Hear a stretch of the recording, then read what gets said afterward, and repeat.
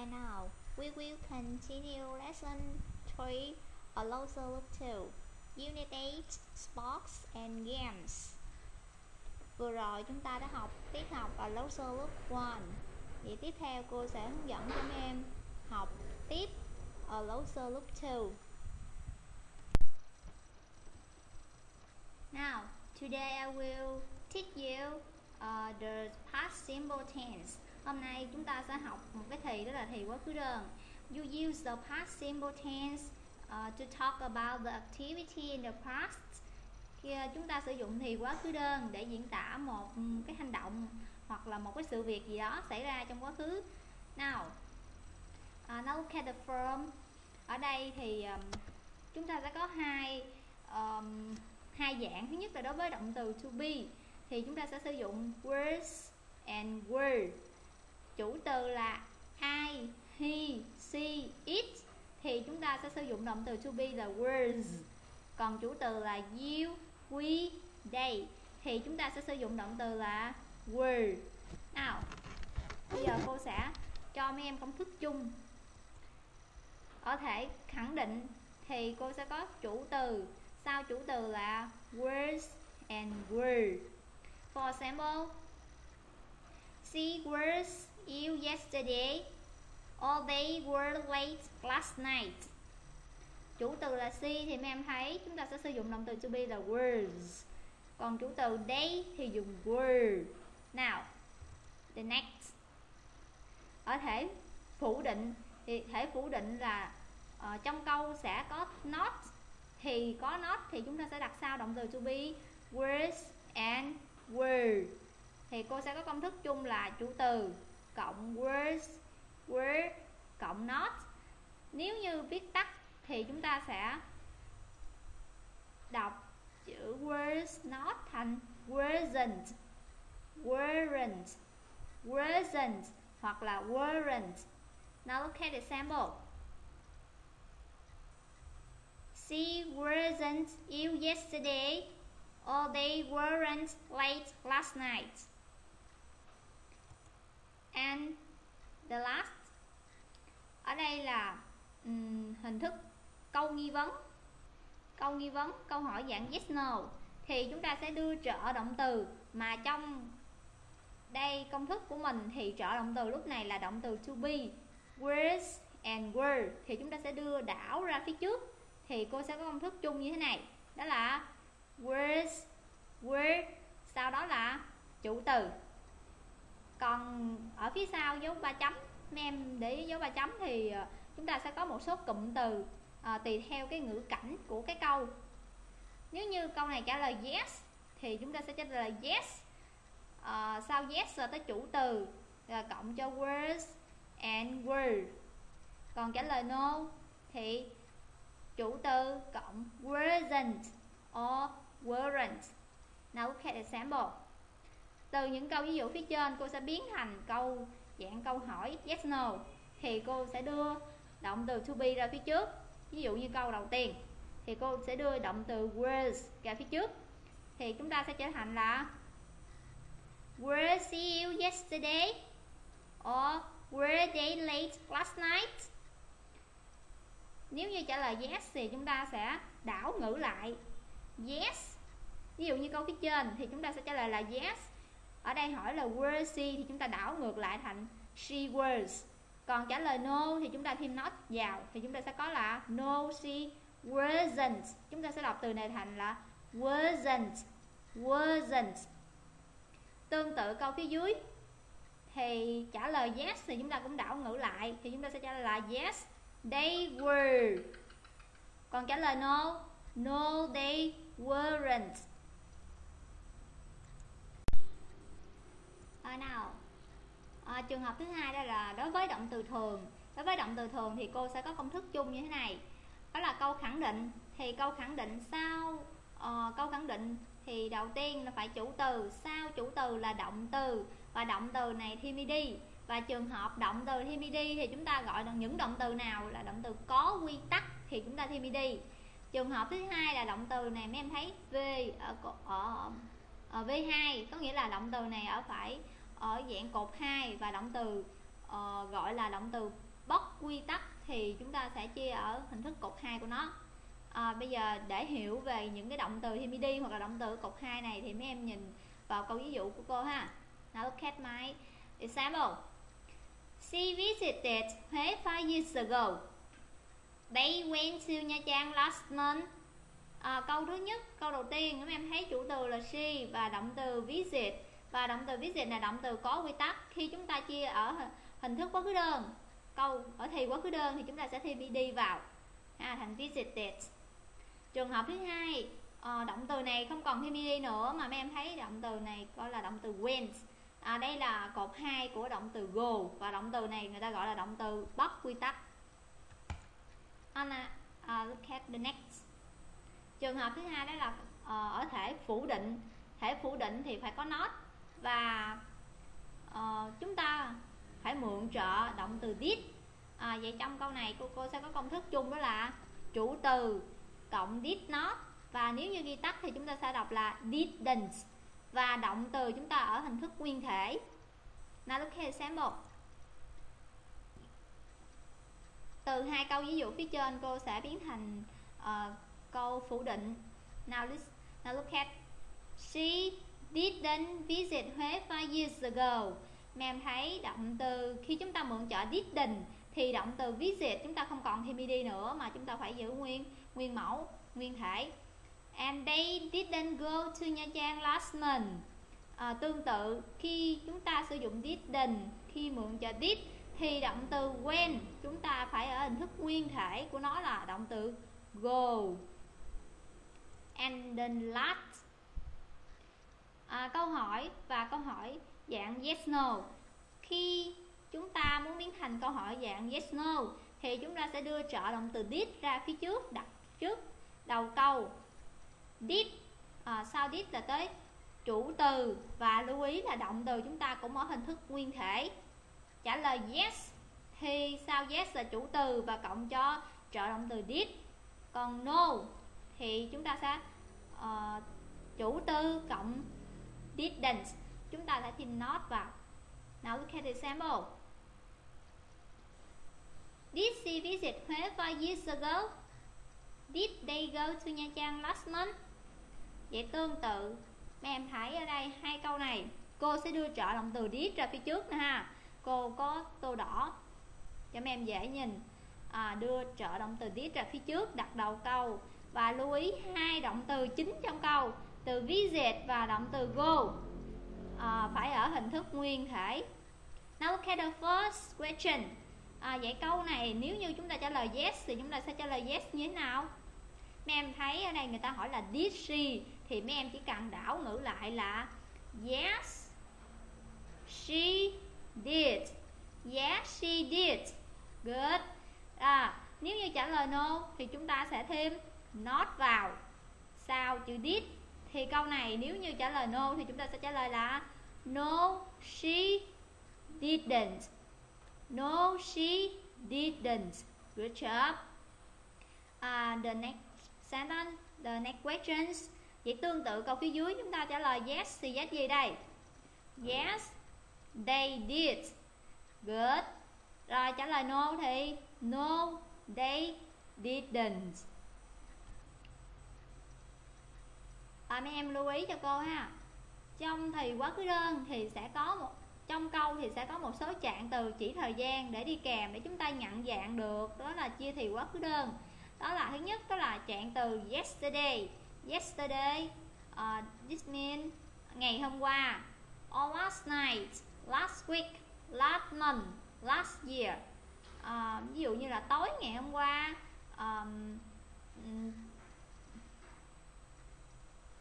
tuần trước tháng trước uh, năm trước hoặc là ago three days ago ba ngày trước 20 years ago 20 năm về trước.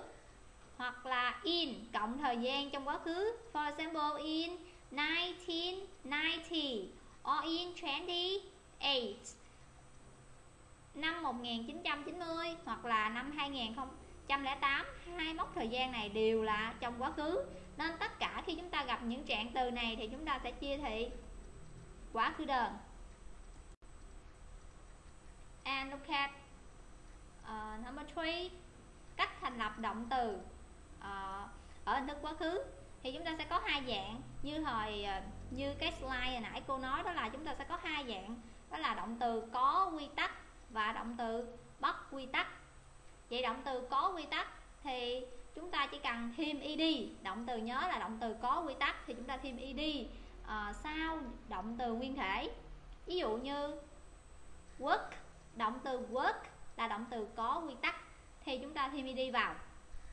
Worked travel traveled water watered. À, những động từ này là động từ có quy tắc thì chúng ta đơn giản chúng ta chỉ cần thêm ed vào à, mấy em lưu ý những động từ nào mà à, tặng cùng là có âm y rồi thì chúng ta chỉ cần thêm âm đi vào. Ví dụ như động từ form à, thì đây là có âm y rồi thì chúng ta chỉ cần thêm ed thêm chữ đi vào ha. Translate có âm y rồi thì chúng ta chỉ cần thêm đi thêm chữ đi vào ha. Và những động từ nào kết thúc bằng phụ âm y dài? Lưu ý những từ nào kết, có, kết thúc bằng phụ âm là âm y dài thì chúng ta sẽ biến thành âm y ngắn. Rồi sau đó chúng ta thêm âm y đi vào, ví dụ như động từ study. Study là âm y dài ha, thì chúng ta sẽ biến thành âm y ngắn.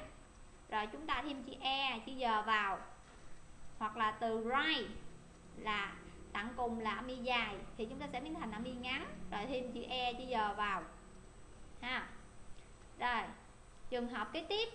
Những động từ nào mà kết thúc bằng một nguyên âm và cộng cho âm y dài thì chúng ta vẫn giữ nguyên âm y dài?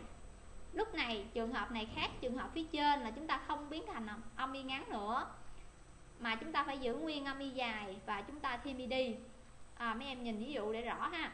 Ở đây cô có động từ đó là động từ play. Mấy em lưu ý nè phía trước chữ y dài là chữ a. Hai nguyên âm này liền kề với nhau.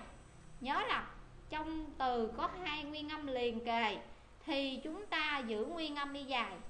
Lúc này chúng ta không biến thành âm y ngắn nữa mà chúng ta sẽ giữ âm y dài. Rồi sau đó chúng ta thêm chữ e và chữ giờ vào.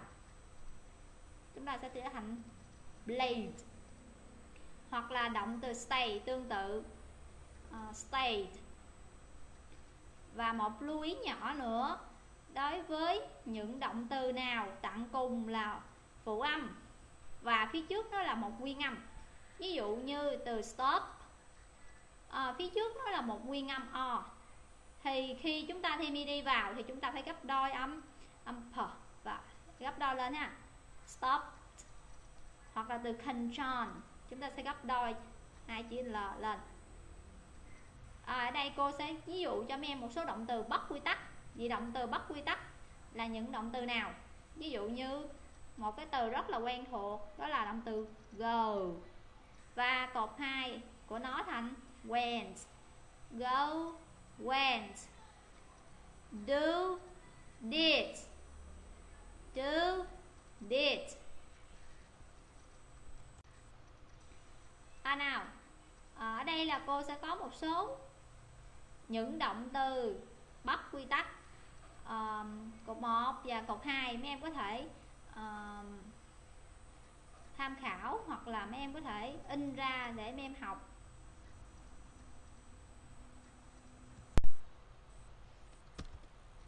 Nào à, chúng ta vừa mới học thì quá khứ đơn. Ừ, bây giờ để um, hiểu rõ về à, cái thì quá khứ đơn này thì cô sẽ có một số bài tập um, để cho mấy em vận dụng. Now open your book page 19 à, Bây giờ mấy em sẽ mở sách giáo khoa ra trang 19 Now look at exercise number 1 Now complete the sentences with dates, words or word. À, Mấy em sẽ hoàn thành bài tập này sử dụng dates, words and word. Now look at number 1 Did, sorry, the 1912 Olympic Games held in London? Look at number one. Can you guess? Can you answer?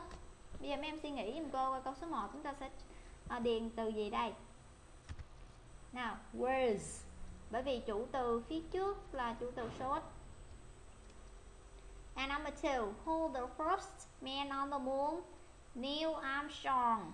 Câu này người ta chỉ hỏi một người thôi, rồi chủ từ um, chúng ta sẽ sử dụng động từ to be ở hình thức số ít đó là words And number three, I at the gym last Sunday. Chủ từ là I thì mấy em sẽ sử dụng động từ to be là was. But I not see you there. Câu phía sau mấy em thấy có từ not xuất hiện trong câu thì chúng ta sẽ mượn trợ động từ did no I at my aunt's house tương tự câu phía dưới chủ từ là ai thì chúng ta sẽ sử dụng động từ to be là was and number 4. câu này là câu hỏi thì chúng ta sẽ mượn trợ động từ did đặt phía phía trước. Và câu phía sau, you, chủ từ là you, thì chúng ta sẽ sử dụng động từ to be là were and look at the answer look at. Nào yes, I, người ta hỏi là did you thì chúng ta sẽ trả lời là yes, I I did đảo ngữ lại. À, và có phía sau it's touring but very interesting. Chủ từ là it mấy em thấy chủ từ là it. Thì chúng ta sẽ sử dụng động từ to be là words.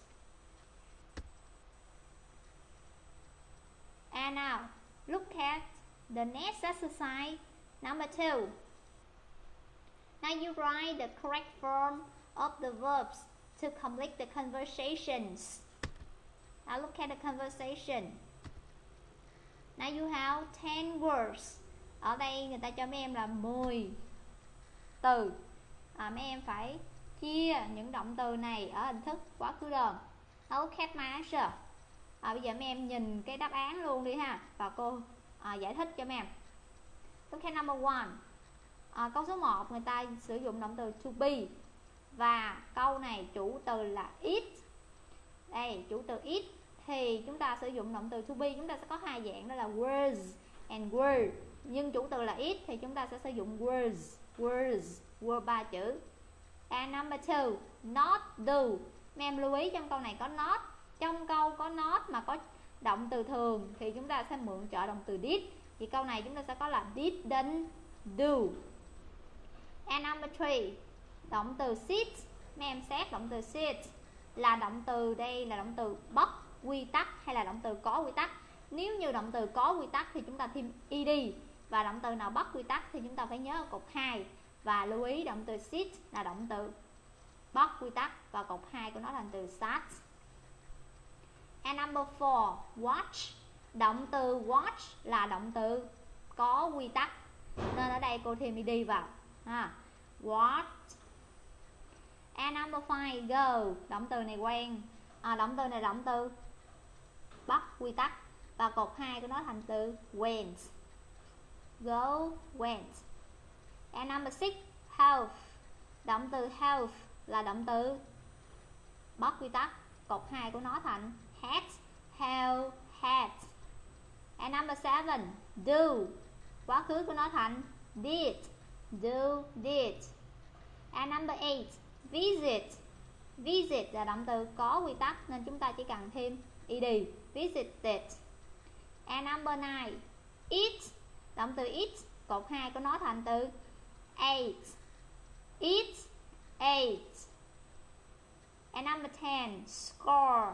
Động từ này là động từ có quy tắc. Và lưu ý tặng cùng mấy em thấy có chữ à, có âm y rồi thì chúng ta chỉ cần thêm âm đi vào. À, thì chúng ta sẽ có động à, sẽ trở thành là động từ? Scored và lưu ý trong bài tập này mấy em thấy những động từ nào là động từ um, bất quy tắc thì mấy em có thể liệt kê ra và mấy em sẽ học những động từ này dùm cô ha. À, và mấy em sẽ chép đáp án của những cái um, câu này. Bài tập số 2 này chép đáp án vào vở dùm cô. Anna, you look at um, the next um, imperatives. À, vậy chúng ta sẽ qua một cái điểm ngữ pháp mới nữa đó là um, câu mệnh lệnh. Now you use the imperative to tell someone to do something or to give a direct order. À, câu mệnh lệnh thì chúng ta sẽ dùng để bảo ai đó làm gì hoặc là chúng ta sẽ đưa ra một cái lời mệnh lệnh trực tiếp. And now you um, confirm ở đây mình sẽ có hai hình thức. Thứ nhất là uh, khẳng định. Thì khẳng định thì chúng ta sẽ bắt đầu bằng một động từ nguyên thể. Còn nếu như phủ định thì chúng ta sẽ sử dụng don't uh, ờ, và cộng cho một động từ nguyên thể. Now look at example. It's cheering room chew it don't swallow it. Uh, có một ừ, cây kẹo cao su. Chew it. Đây là khẳng định. Um, có nghĩa là nhai nó don't swallow it. Đừng nuốt nó à, là thể phủ định.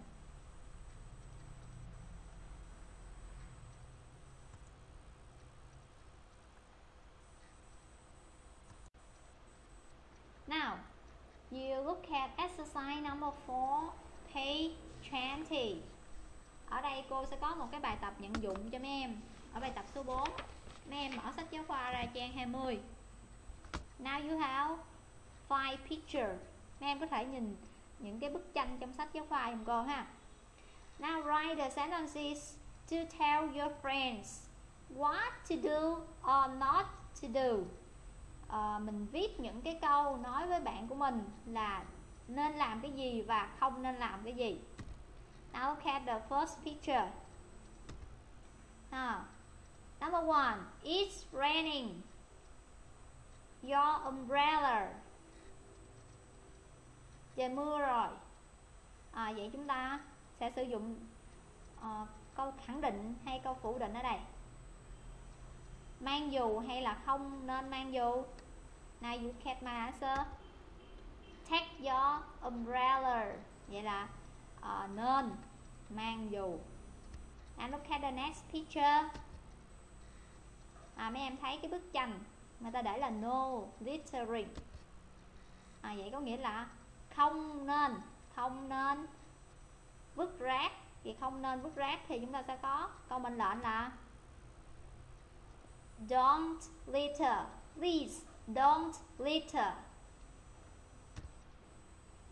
The next picture à, mấy em thấy cái đồng hồ vậy ý của người ta muốn uh, gì đây? It's late now. Nó trễ rồi. Please. Vậy làm sao mấy em thấy? Ở đây mình sẽ sử dụng từ nào để đi với giới từ up đây? Nào hurry up nhanh lên. Hoặc mình có thể là get up wake up à, thức dậy hoặc là tỉnh dậy. And look at the next picture. Exercising is good. Tập thể dục thì tốt nhưng too hard. Thì ở đây là nên hay không nên? Nên hay không nên tập quá nhiều? Có nghĩa là không nên không nên làm gì đó thì cô sẽ có là don't train or oh, don't practice và lưu ý động từ train lúc này. À, mấy em thấy động từ này đồng nghĩa từ practice có nghĩa là thực tập. Không nên thực tập quá nhiều.